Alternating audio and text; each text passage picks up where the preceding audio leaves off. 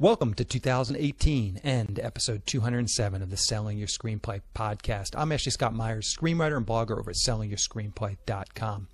Today I'm interviewing Carole Kirschner, who is an entertainment career strategist. She has a ton of experience in television. She created the CBS Diversity Institute Writers Mentoring Program, and she helped develop the WGA Showrunner Training Program's curriculum. So she's got a lot of great advice for people looking to break into television. So stay tuned for that that interview.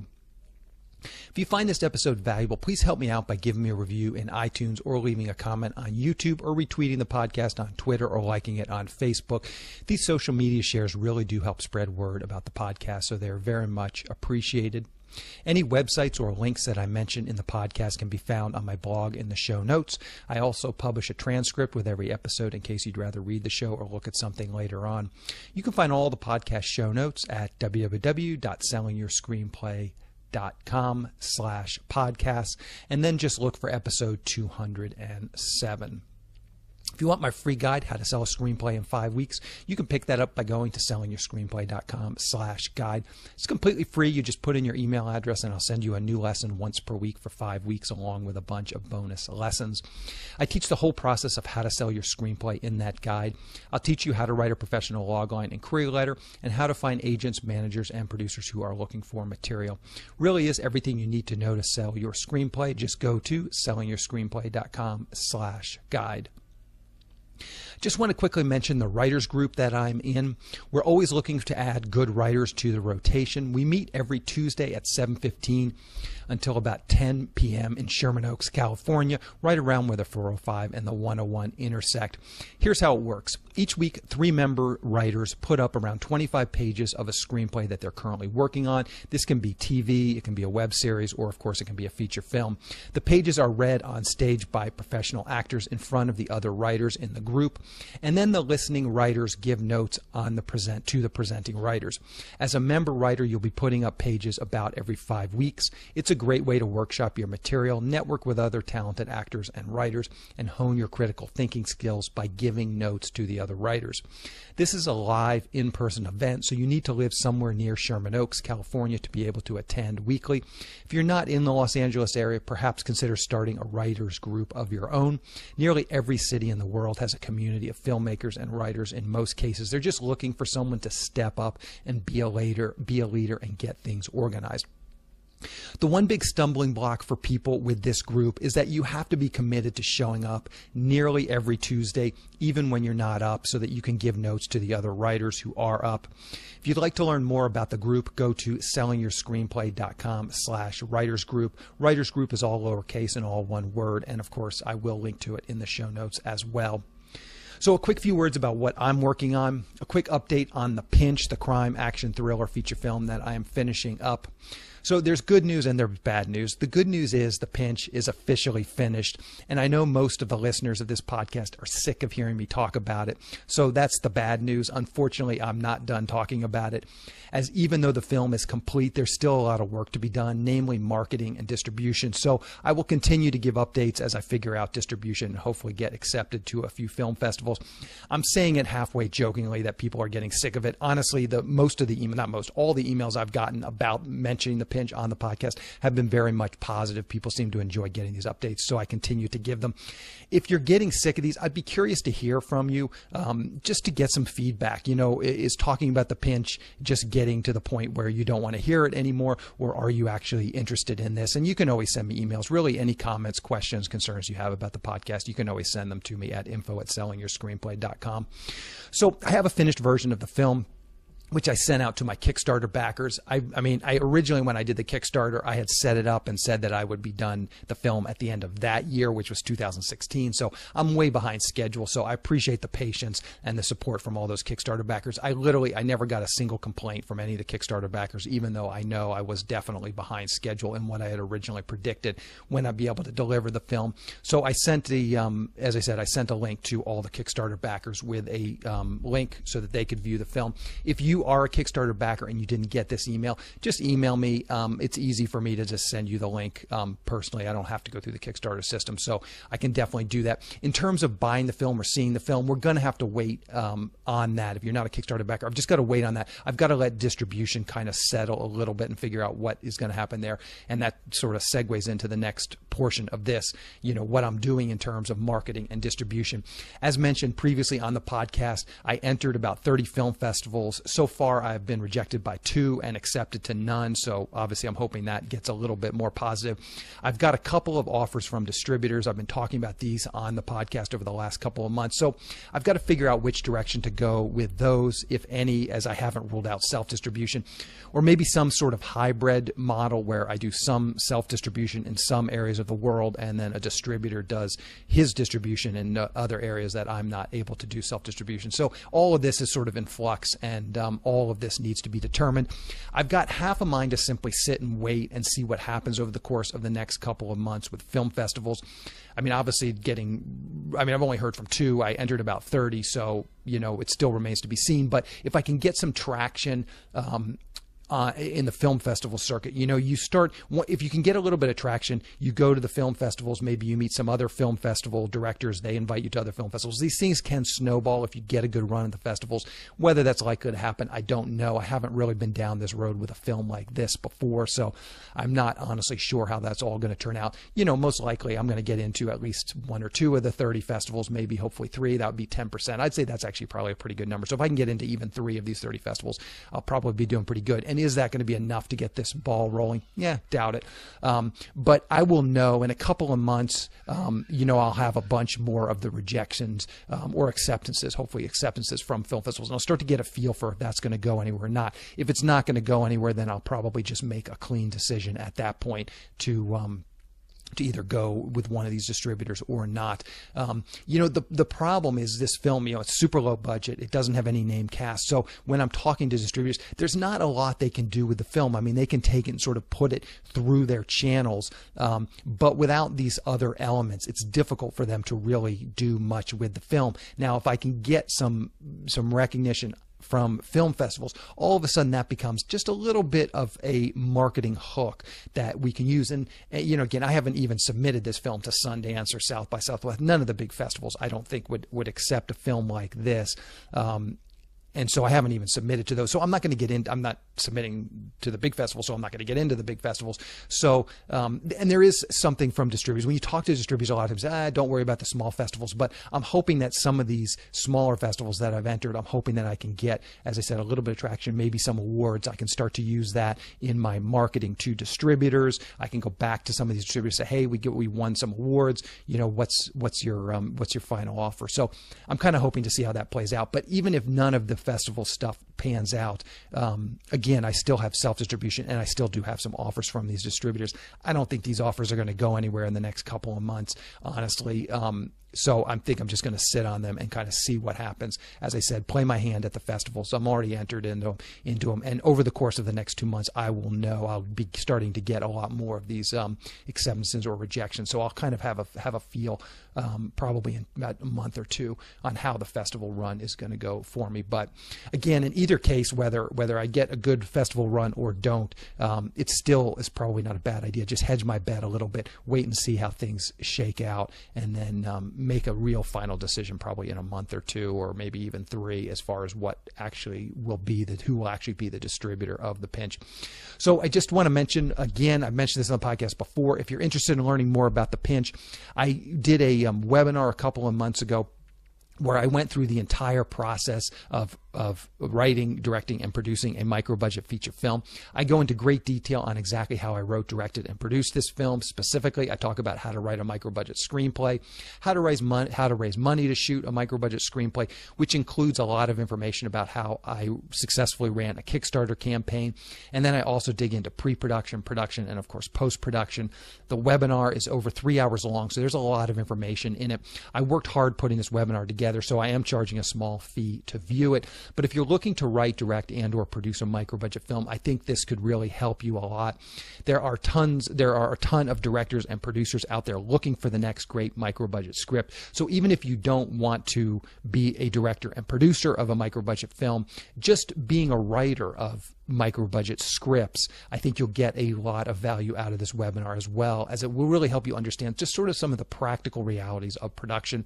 I think writing low budget scripts um, that can be shot on a micro budget level is a great way to meet up and coming directors and producers and get some produced writing credits.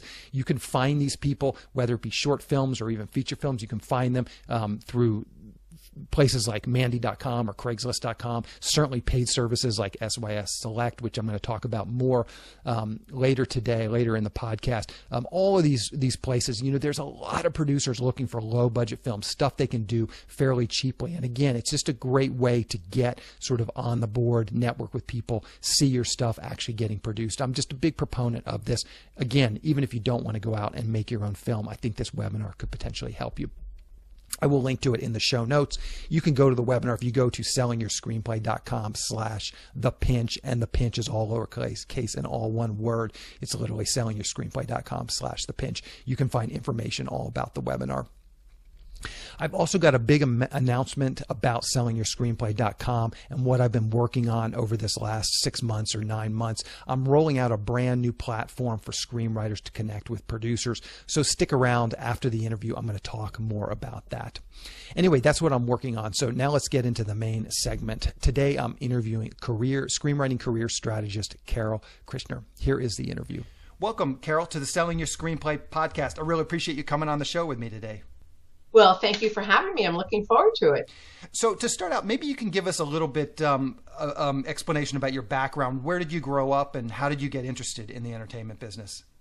Sure, sure. So um, I'm actually from Los Angeles, one of the few, mm-hmm. and I started as a stand-up comic, and then realized that since I wasn't Whoopi Goldberg or somebody fabulous, uh, I was just pretty good that um, I needed to go to the other side of the desk, and I became a development executive. And I started with a small production company, and then I was at CBS in comedy development. And then I went over to Steven Spielberg's first Amblin television department and started that. Um, I then became a consultant because I had a young daughter and all I was doing was traveling. Um, so we changed our lifestyle. I became a consultant, and as a consultant, I created the CBS Diversity Writers Mentoring Program. And because of that, I was asked to help Jeff Melvoin develop the curriculum for the WGA Showrunner Training Program. And because of that, I was asked to help Humanitas New Voices uh, run that program. Um, I wrote a book called Hollywood Game Plan How to Land a Job in Film, TV, or Digital Entertainment. I speak around the world. In fact, I'm going to India in two weeks to talk to them about the U.S. showrunner training model, oh, nice. and I'm a career coach. Okay, perfect. Um, what, what is it about the entertainment business? And it sounds like stand up comedy was sort of your first foray into it. What is it um, that attracted you to the entertainment business, do you think?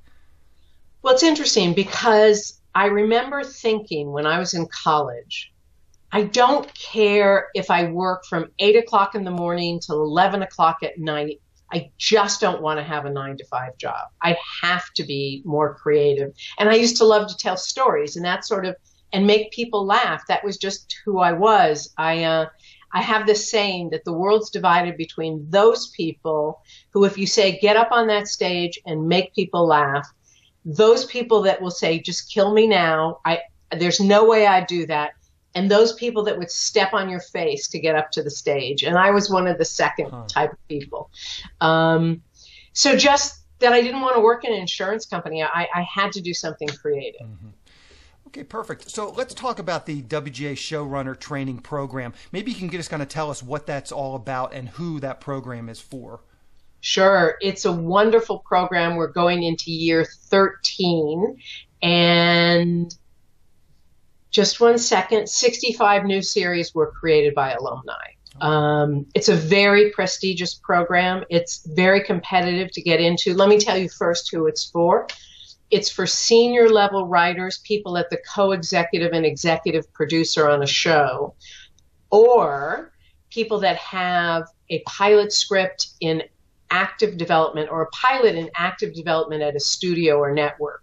This year it was amazing. We have two people because we I just yesterday called everybody to let them know they got in or they didn't get in and the didn't get in or those hard phone calls mm-hmm. and the got in or the great phone calls. Um, two people have series on the air. Uh, we have people who have produced pilots that are waiting to hear whether or not their pilots are going to get picked up. We have people that are writing six. Amazon now wants you to, uh, no, TNT now wants you to write, no, AMC wants you to write six scripts. They don't order pilots anymore. They do six scripts, and then if they like the scripts and the pilot script, then they order it to series. So we have people in that situation right now too. Mm-hmm. Is it? Oh, okay. Go is, ahead. Is it all WGA members? So that's since it sounds like you have to have some experience before you would get into it. You would, by default, it sounds like be a WGA member, or can anybody apply if they fit these other criteria? Oh, you have to be a WGA member, and and the thing is, if you fit that criteria, you are a WGA member. It it they go hand in hand. Mm-hmm. And so here's the program. It's six Saturday, and, and also this year we had 145 applicants for 25 slots. So it is intense. Yeah. Um, so it's six Saturdays starting in January, and the they're they're organized around a theme each week. So the first theme is going from writer to manager. The second week is managing writers and the writers' room. The third week is managing production. The fourth week is managing actors and executives. The fifth week is managing post production, and the sixth week is managing your career. And we have alumni who've just run their first shows talk about what they did right, what they would do different, and very experienced showrunners talking about how they kept their shows on the air. Okay, perfect. And so let's uh, maybe we can do an overview for the CBS Diversity Writers Program as well, just quickly. What that what's that all about, and and who is that program for?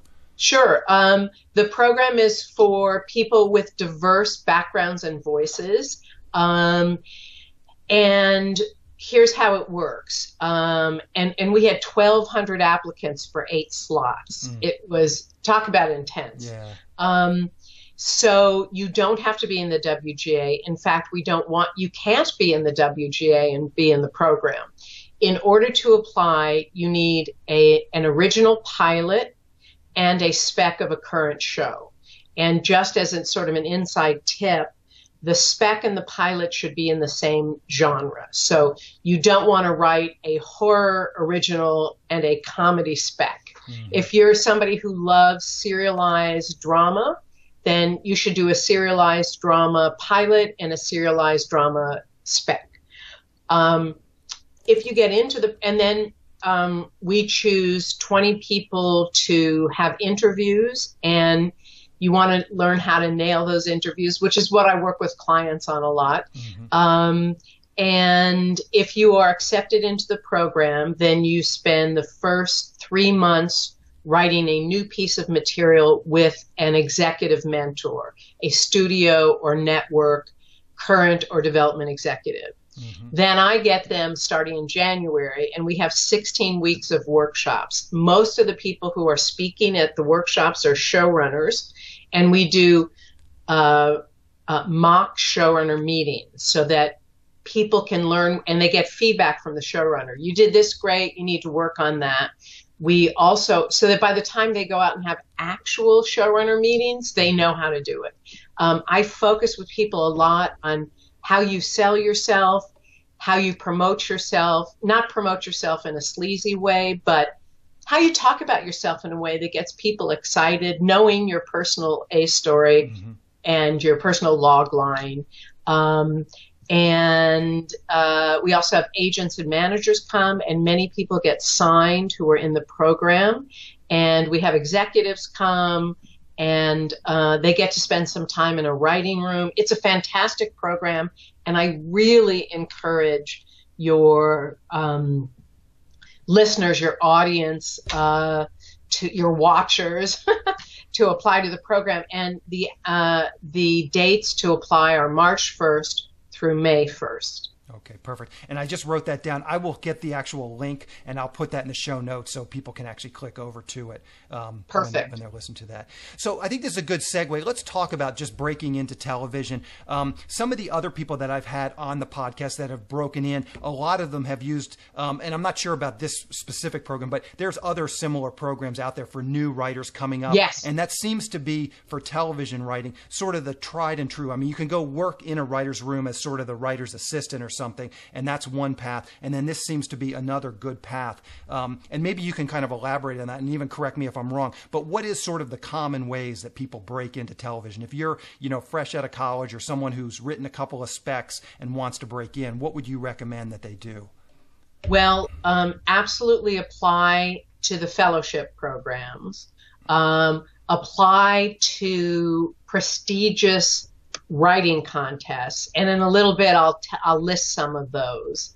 Um, get a job as a writer's PA. You know, you said you know people can get a job as a writer's assistant. The writer's assistant is a very difficult job to get. Yeah, yeah no doubt. Yeah, I don't want to over overstate that. Yeah. Yeah, you have to move up, and so here's the hierarchy on a television series. So the the entry level is the writer's PA. And then if you're a good writer's PA, then you move up to being the assistant to a showrunner or an executive on the show. And if you do that well, then you have a shot at being the writer's assistant. And if you're a writer's assistant, it's very possible if you're doing a great job and they have enough episodes that you'll write a freelance script and get into the guild as an assist, associate member. Then, if you're great at that and and you have writing samples that the staff can read and more importantly that the showrunner can read you could get staffed on the show the next season mm-hmm. as a staff writer okay. um, of course if your aunt is the president of the network that's a way to get in mm-hmm. and if you know a showrunner uh, you have a shot at getting that PA gig or the assistant to an executive or showrun. Mm-hmm. Would you say these um, fellowships are are they typically they get the writers to be like the the writer's PA or even the assistant writer, or do you see people from these fellowship programs actually getting staffed as staff writers? Um, staffed at a staff writer level. Okay, okay. That's really the point of the program is to get and the real point of the program, as I say about CBS and all the networks and all the studio programs, are we're not looking to get somebody just a job as a staff writer. We are grooming people to be showrunners. Um, and each of the the fellowships um, provide uh, the production that's hiring the writer with money for that writer for the beginning 20 weeks or something like that, depending. Mm-hmm. how, excuse me, how viable in this day and age is, you know, doing something like a YouTube, creating a YouTube channel and creating videos there? And do you ever see writers segue from something like that? I mean, there's sort of these stories. I mean, there's sort of the, the easy stories you can choose, you can pick to, but is that like a viable path that is consistently churning up, turning up new writers and getting people staffed on writing shows, just doing something on your own? Absolutely. Okay. I'm going to launch into 10 ways to get an agent okay. because this is, um, and if you get representation, then it's much easier to get um, that, to get in for a showrunner interview to get those gigs. Um, so I have my list, Perfect. and it'll cover some of the things that you said. You're, those are smart questions. So people always say, "How do I get an agent?" Right? Mm-hmm. Your uh, your constituent always asks that question, right? Very, Everybody wants very, to. Yeah, yeah, very common question. Um, and when I ask agents that, they say this very frustrating thing. They say, "Don't worry about finding us. If you're ready, we'll find you," um, which is true. So here's 10 ways to get an agent or a manager. And the first is to win a highly regarded contest or festival award. And it only counts if you come in the winner or first place. Um, if you're a quarter finalist, nobody's going to find you and nobody except your mother cares about that. Mm-hmm. You have to be the winner or come in first, you know, second. Um, here's some television uh, um, contests I encourage people to apply for. There's the TrackingB dot com launchpad, mm-hmm. and a guy named Mickey Fisher put one of his uh, pilot scripts there. He'd been a playwright in New York. A young assistant at WME saw it, loved it, brought it to her boss. They brought it to Steven Spielberg's company. He loved it. Um, they brought it to the networks, and there was a bidding war. Um, and just as an aside, everybody in Hollywood loves everything until they don't return your calls anymore. Mm-hmm. Um, so, and that show got picked up uh, with a straight to series order, and it was extant on CBS. So that was TrackingB. The other is obviously the Austin TV pilot contest. The Page Awards have a pilot contest. Final Draft Big Break is very good. Uh, the Sundance TV Lab. Um, those are some. Don't spend your time, as I like to say, on schmagegi television writing contests because nobody, none of the people that are going to help you are looking at those contests. Just the top four or 5 mm-hmm. Okay, so that's one way. Two is, as you just said, be selected to be in one of the fellowships, like CBS, like NBC, like ABC, like Warner's, like Fox. Um, and HBO has one. Uh, three is to get an overwhelmingly enthusiastic response to a one woman show or your stand up or your improv. Um, four is getting half a million hits on your YouTube uh, video or web, web series, which is a question you just asked. And yes, uh, you can get um, an agent or manager will pay attention to that. Hold on one second. Let me turn this off. Um, because there's these 22 year old people at the agencies, these really young people, and they're spending all day online looking for this. Um, they're also going to stand up clubs to find stand ups. Uh, five is get referred by a friend of the manager or the agent, um, an acquaintance. Uh, the sixth is getting referred by a current client. Um, and the way that works is that when, so an agent or manager has a stack of scripts this high. Can you see that? This high. Yep. So um, the ones that come to the very top are the ones that have been referred by their clients because they want to keep their clients happy. And then next down is people from uh, friends and acquaintances. And then further down are things that just have come to them through cold queries or uh, through people that aren't close acquaintances. Um, and then seven is being referred by an industry professional. There's some, you know, screenwriting teachers who have connections in the entertainment industry. Eight and I used to think this didn't work, but I have a client that this worked for, which is send a cold query letter. Um, she sent out 90 emails. 11 uh, managers responded to her and asked for the script. Hmm. And of those 11, three of them read the script, liked it, met with her, and all three of them wanted to represent her. So it is possible. Um, Nine is get a job working in the industry. Um, if you get a job in the industry, you will know connections to people who know agents and managers.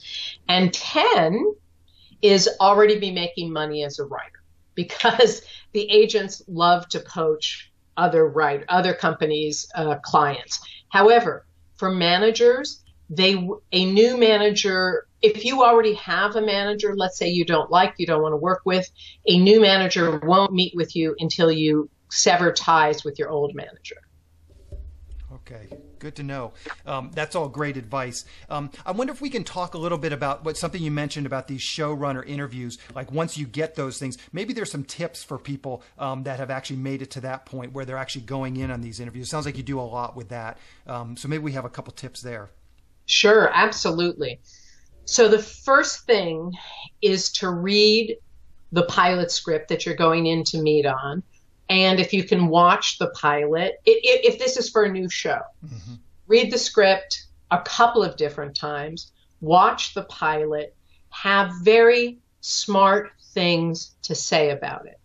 Um, what you also need to do, and I'll come back to that in a minute, you need to totally uh, research the showrunner that you're meeting with so you know who they are, what they have done, so you can comment on that and sort of the small talk part of it.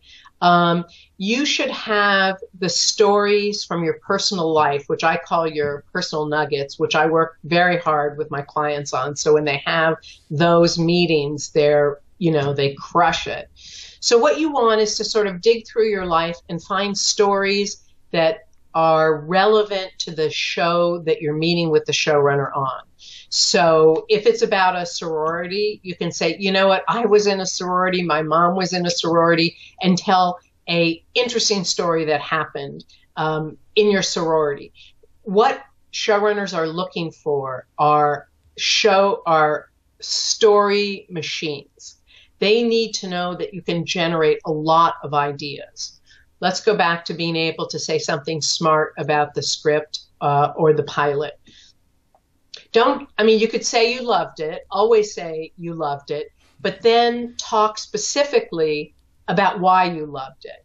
And and don't make it so general that it doesn't make any sense.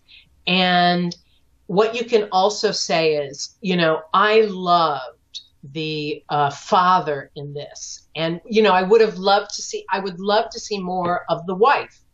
And they may ask you for ideas and you don't want to come in with pitches, but you want to come on in with general ideas like, you know, I think it would be really interesting, and I would love to write the sisters uh, arc. And you know, as I was reading, I thought, you know, maybe somewhere down the line she joins a motorcycle gang. Um, that's about the the extent to the amount of you know pitching that you should do. And why, um, not, why not come in? I mean, depending on what type of a show it is, if it's a very episodic show, why not come in with some actual ideas for, for future episodes? Uh, I would only come in with a couple, and I would just have the log line. Uh, they're not supposed to ask you to pitch ideas. That's against see. the guild rules. I see. I see. Um, but if if you say, you know, this detective who has a limp, um, I just thought that it would be so fun to see him have to go to a an arcade, you know, something like that, but no more than that. I see. And you know, come ten minutes early. They'll give you a bottle of water. Take the water because everybody's throat gets dry when they get nervous, and it gives you something to do with your hands. Mm-hmm. Okay, let's talk about these personal nuggets that you just mentioned. I wonder if you can give kind of an example of what that actually is. Sure, sure.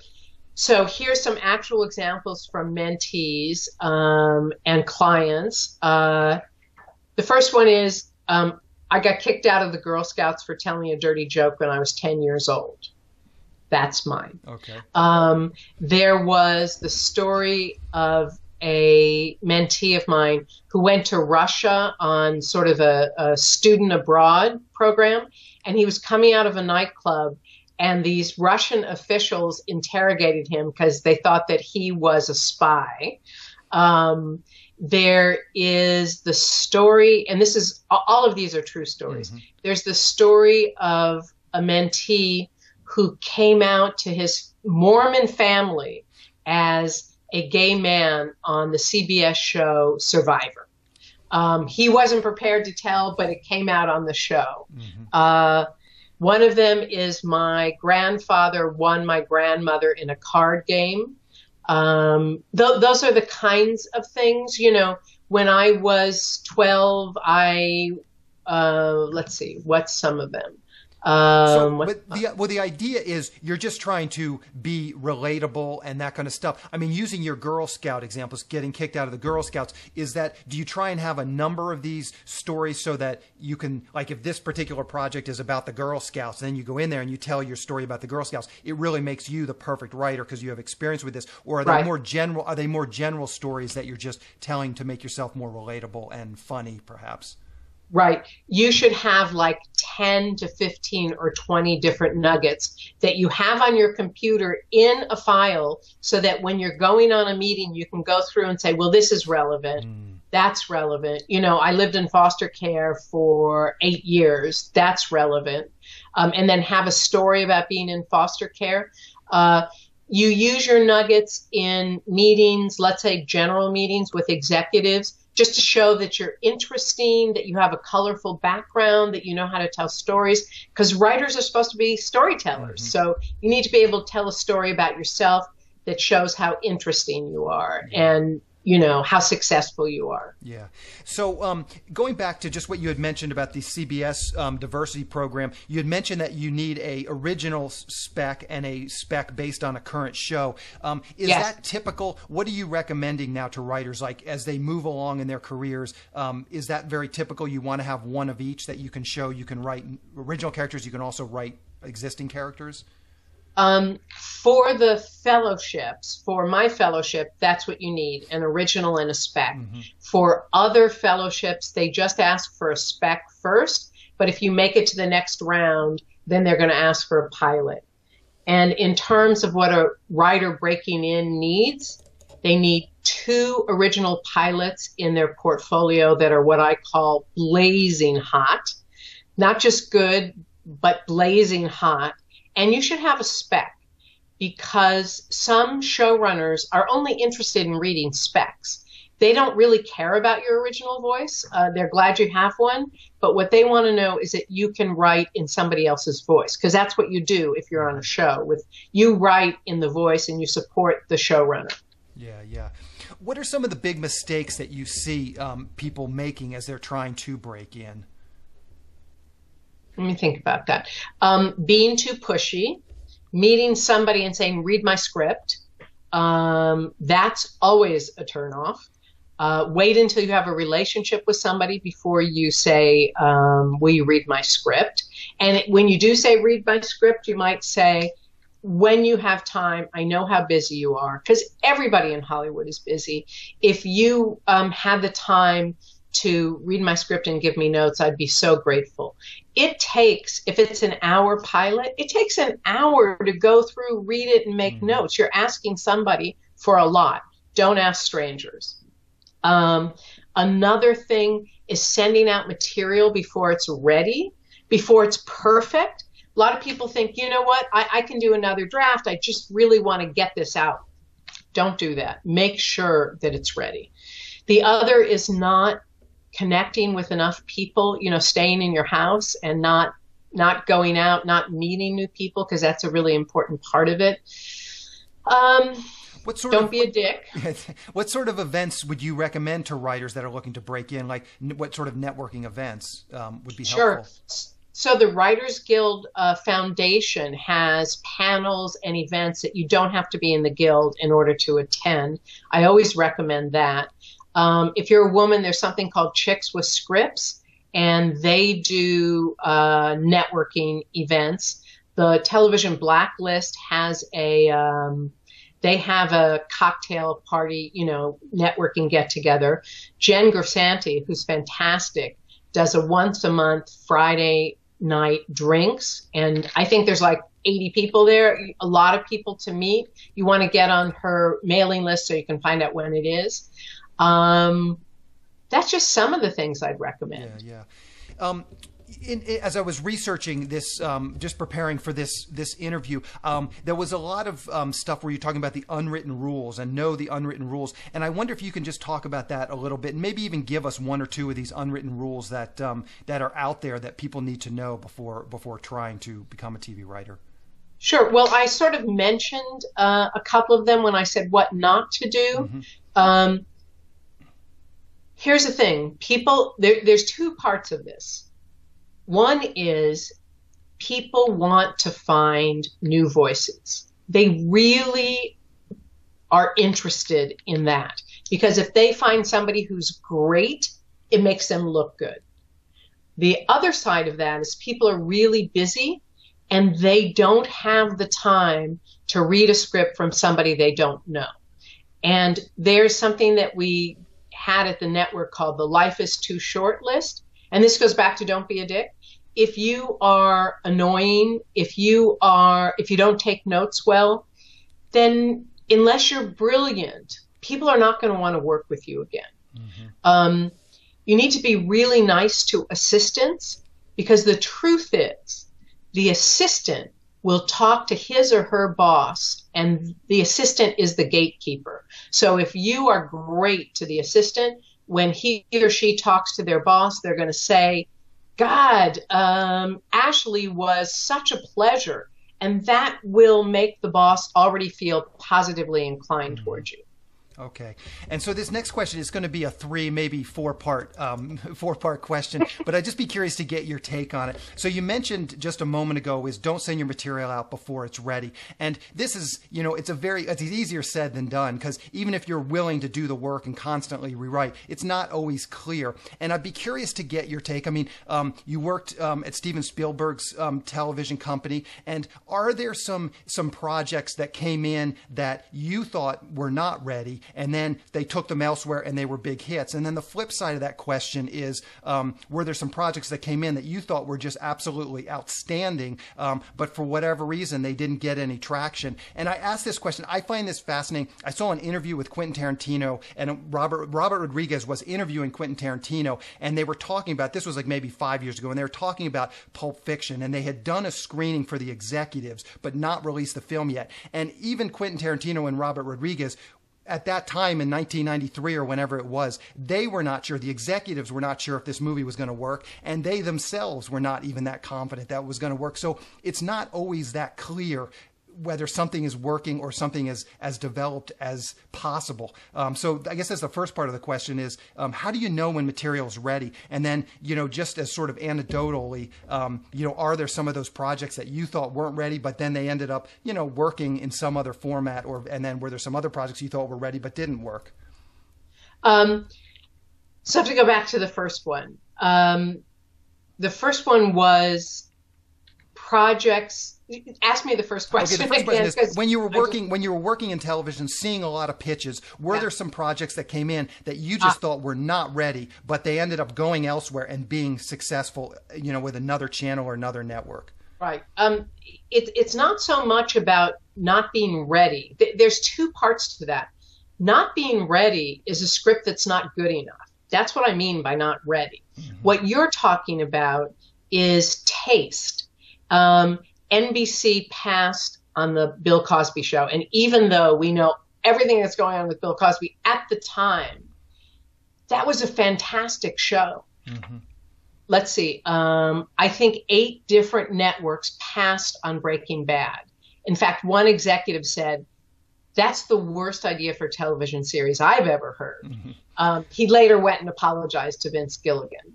Um, off the top of my head, I cannot think of something that I read that I thought this is great that we let pass through our fingers and it went someplace else.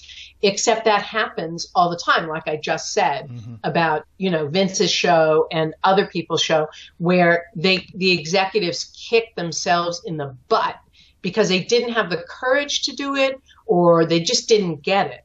Um, so again, we're talking about two different things. But don't you think, order, don't you think there is a sort of a blurred line where at some point it becomes more about taste than oh this script is not good enough. I mean, you know, like there's just there's some point where you get to the point where some one person says this script is not good whereas another person says this script is great and so at some point those lines of taste versus just not being ready are blur are a little bit blurry um actually i don't agree with you. I, I sorry. Um, it's t- once your script is blazing hot, then it's ready.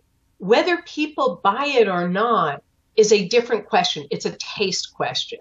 But if you're sending in a script where there's typos, where the characters are not well developed, where it's a first or second draft, then that gets dismissed immediately as being amateurish. Mm-hmm but there's many scripts that are beautifully done that are wonderful that get passed on. There's scripts that are in drawers and have been in drawers for years because the timing wasn't right um, does that make sense? Yeah, yeah, no, it does. It definitely does. Um, and so, w- what would you recommend to a writer? Like, how can they tell that their material is ready? And maybe it just goes back to a lot of what you've been saying, like enter contests and start, you know, getting those quarterfinals or semifinal placements in contests are sort of an objective measure. Um, but maybe there's just like, how do you know when your material is ready?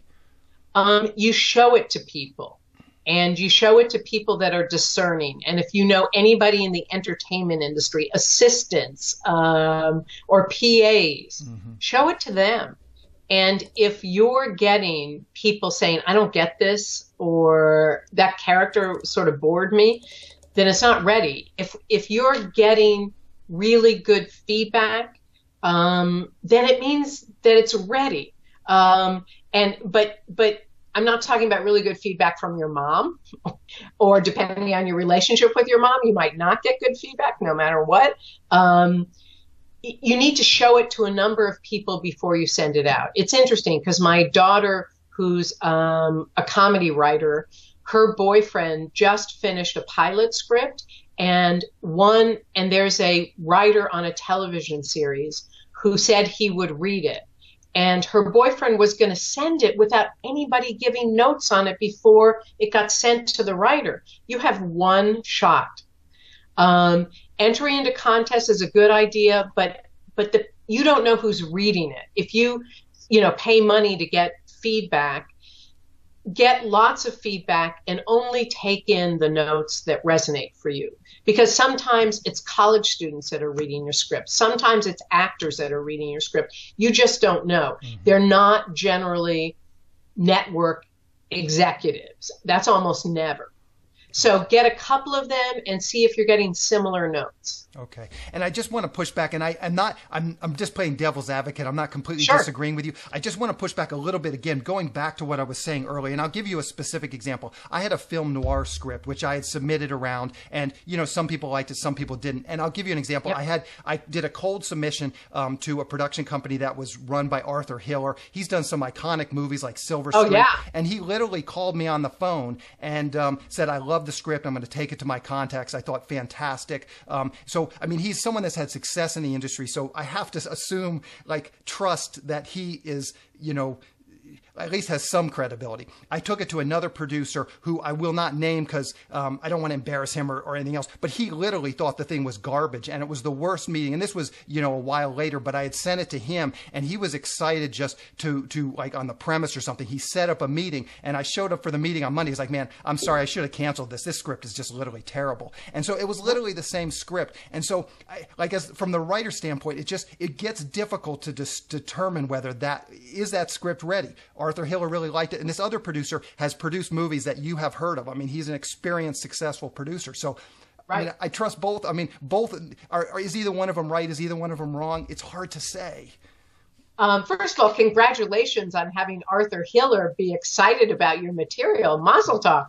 Um, if there's somebody in the business who's respected, who said, I love this, then you're in great shape the fact that this other producer who sounds like an awful person to say that to you I, frankly i respected his his directness like there was no point in wasting in sitting in a meeting yeah. where he knew his so i i was not it, it, wasn't i mean he was just kind of being honest he was giving me his honest right. opinion of my script you know and, you're right you're right a quick no is often as kind as a yes uh, never quite as exciting but as kind mm-hmm.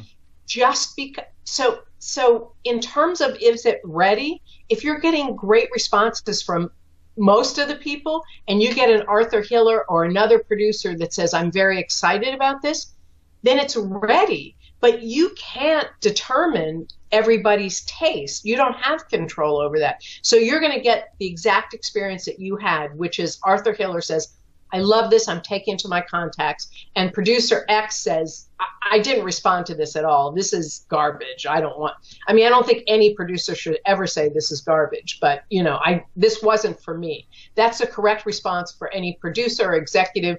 You know what? This is not for me. Um, you, very few times will you send something out that everybody loves. That's like a dream. That doesn't mm-hmm. happen all that often. It does happen sometimes, but not that often.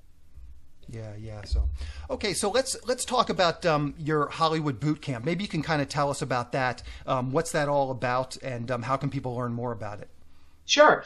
So I had to learn the hard way on how you break into this business. I made a lot of mistakes, and I I vowed to myself that when I made it, I was going to help other people learn how to do it, how not to make the mistakes I made. So I wrote the book Hollywood Boot Camp, How to Land It. No, Hollywood Game Plan, How to Land a Job in Film, TV, or Digital Entertainment. And then a couple of years later, I realized there were a lot of things that could be added to that. And I produced the Hollywood Boot Camp, Carole Kirschner's Hollywood Boot Camp, mm-hmm. How to Get Your First or Next Job in Hollywood and it's uh, 20 videos. I mean, they're about 10 minutes long. You can watch them all at the same time. You can watch one. You can do whatever you want. You can listen to them. Um, and it goes into detail about what you need to do to break in. And it talks about everything from how you have that first meeting to how you get that meeting to how you should dress for that meeting it's it covers everything how you follow up effectively without being annoying. Mm-hmm. um, and to find out more about it uh, go to ckbootcamp.com perfect. And ckbootcamp.com perfect. And i'll get that in the show notes as well. Um, do you recommend people read the book before they do the boot camp no, I think the boot camp can come first. I really do. Okay. Um, and if you don't want to do the boot camp, the boot camp's more personal. It's more stories. It's more in depth. But if if that's not what you want, you can certainly read the book. There's some of the same stuff in it. Mm-hmm. Uh, again, the boot camp has more. Um, and uh, we've gotten really great response from it. People say, "I wish I had found this." You know, a year ago, two years ago, when I was I wouldn't have made these mistakes. Yeah, yeah. So, um, and then it sounds like the third arm of your business is your personal consulting. Maybe you can tell us a little bit about about that. Sure. Um, well, the first thing is I, I don't take everybody. You heard all the things I do, so I have mm-hmm. really limited time. Sure. Um, I take people who only who I feel I can help, and what we work on is sort of what I consider the four pillars of being a successful writer. Um, as I studied writers over the years who were successful, these are the things they had in common. And one was blazing hot material, which we talked about. Um, then the other was having a really smart self marketing strategy. So they know how to talk about themselves. They know which of those stories are the right stories to tell. Um, I have I teach people something called their personal log line and their personal A story, and then we work on those personal nuggets. The third is having a comprehensive community of contacts and relationships. That's really important. So I work with my clients on that. And then the fourth thing is these successful writers were industry savvy. They knew who the players were in the business. They knew where the best place to take their material was. And I work with that on my client, with my clients. Okay. So that's what I do in coaching. I really I tell people the honest truth, but I'm nice about it. Mm-hmm. And we set up uh, milestones and I support them as they achieve those. Okay, perfect, perfect. And um, is there a specific website that people can learn more about that? Yeah, thanks for asking that. It's carolekirschner.com, okay. which is C A R O L E. Well, you'll have it on there, right? Yeah, so, yep, exactly. I'll, I'll, put, I'll make sure I put that in the show notes yeah, well, so, so carolekirschner.com is my website. Okay. You can see everything about what I do, including my coaching uh, services. Okay, perfect. And um, I, am just starting to ask this question really for my own personal needs. Um, me and my wife are always watching stuff at night, and we're always looking for good shows to watch. What are some things that you've watched recently that you really like that's on Netflix or Hulu or any of the services? Right. Um, huh. I watch a lot of comedy. Okay. So I love The Good Place on NBC. It's not streaming, but I think it's charming and wonderful. I like Better Things on FX a lot. Mm-hmm. Um, I watch Catastrophe on Netflix. Yep. Um, we watch something. This is a really old show, but it's so good called Broadchurch. It's a BBC show. Hmm. Um, it's a it's a mystery that's wonderful, really nuanced. Okay. Um, let me think what else I watch. Um, I watch a lot of documentaries. I just watched a Lady Gaga documentary that I thought was great. Um, what I like Big Little Lies, as did everybody else in the world. Yeah, I didn't yeah. want to like it because I didn't want to be one of those groupies, but I really liked it. Yeah, yeah, it was good. I, I like um, the Santa Clarita Diet. That's going to come out again. Um, so those are the shows that I like. Perfect, perfect. And um, what's the best way for people to keep up? We've talked about your website, um, but maybe there's a Twitter handle, Facebook page, anything you're comfortable sharing. I will also get that in the show notes as well. Sure, thanks. Uh, Twitter is at Carole Kirsch. Um, Facebook is Carole Kirschner Entertainment Career Strategies. Okay, perfect. And I wish I knew my name on Instagram, but I think it's Carole Kirschner. Yep, and I'll figure that out. And again, I'll put that in the show notes. Well, Carole, this has been great information. I get a ton of emails about TV writing, something that I don't know a ton about. So this was great to have you on. I know this is going to help a lot of people. Oh, thanks. It was a pleasure to do it. Thank you for having me. And I wish everybody good luck because here's the truth if you have great material, it will be found. And today, with 400 scripted shows on the air, they look for content everywhere. Mm-hmm. For sure, for sure. Thank you very much, Carole. You're welcome. Thank, Thank you. you. Talk to you later. Bye. Bye. I just want to mention a brand new service that I've rolled out over the last couple of weeks. I haven't talked about this on the podcast at all, so this is the first time, but it's really been my main focus now for many, many months, and it's been a big project. I've been trying to just get it launched, and finally I was able to launch it a couple of weeks ago to SYS Select members. So here's what it's all about. I have built the SYS Select screenplay database. Screenwriters upload their scripts along with a logline synopsis and other pertinent information like budget and genre. And then producers search for and hopefully find screenplays that they want to produce. I'm adding features to this new service nearly every day. So ultimately, it will be the main hub for all of the SYS Select services. If you're a member of SYS Select already, you should have already received your login information. If you haven't, please let me know. Just send me an email, info@sellingyourscreenplay.com, and I will get you um, your login information because you are, if you're a member of SYS Select, you're already a part of this new service and should already know something about it because I've sent out several emails to SYS Select members. So again, if you don't know what I'm talking about and you're an SYS Select member, send me an email and I will give you all that information. I invited in a few dozen producers a couple of weeks ago, so there are already some producers in the system searching for screenplays. I'm going to keep the current price in place for the next month or so as I try and ramp up ramp the services up. I probably will increase the price after that. So if you sign up now, you'll get grandfathered in on the current pricing. So when I do the price increase, the price increase won't affect you. I'm not going to increase the price for any current subscriptions. So now is a good time to join and save a little bit of money each month. And if you followed SYS Select and other services I offer through selling your screenplay, you'll know I never give out discounts. So this is really the closest thing to a discount that I'm going to offer. To learn more about this, go to sellingyourscreenplayselect.com. Again, Again, that's sellingyourscreenplayselect.com. When you join SYS Select, you get access to this brand new screenplay database along with all the other services that we're providing to SYS Select members, which include there's a newsletter, this monthly newsletter that goes out to our list of over 400 producers who are actively seeking writers and screenplays. Each SYS Select member can pitch one screenplay in this monthly newsletter. We also provide screenwriting leads. We have partnered with one of the premier paid screenwriting leads sites out there, so I can syndicate their leads to SYS Select members. There are lots of great paid leads coming in each week from our partner. Recently, we've been seeing about five to 10 high quality paid leads per week. These are producers and production companies who are actively looking to buy material or who are looking to hire a screenwriter for a specific project. If you sign up for SYS Select, you'll get these leads emailed directly to you several times per week. These leads run the gamut from production companies looking for a specific type of spec script to producers looking to hire a screenwriter to write up one of their ideas or properties. Producers are looking for shorts, features, TV, and web series pilots. It's a huge array of different types of projects that these producers are looking for. And these leads are, of course, exclusive to our partner and SYS Select members.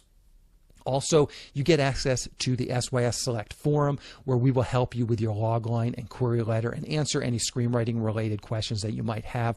Also, in the SYS Select forum is all the recorded screenwriting classes that I've done over the years. So you'll have access to all of those as well. You can learn about the um, SYS Select screenwriting classes by going to sellingyourscreenplay.com slash online dash classes. I'll link to it in the show notes as that URL is not the easiest one to remember, but it's basically sellingyourscreenplay.com slash online dash classes. I think there's more than a dozen classes that um, I did and have put into the SYS Select forum. As I said, all of them are screenwriting related, pitching, writing a log line, you know, preparing to write your script, outlining your script, writing your script, writing the first 10 pages, the first act, the second act. All of those different components of a screenplay are broken down individual into individual classes that I go through and teach. And there's even some classes that are taught by other people as well.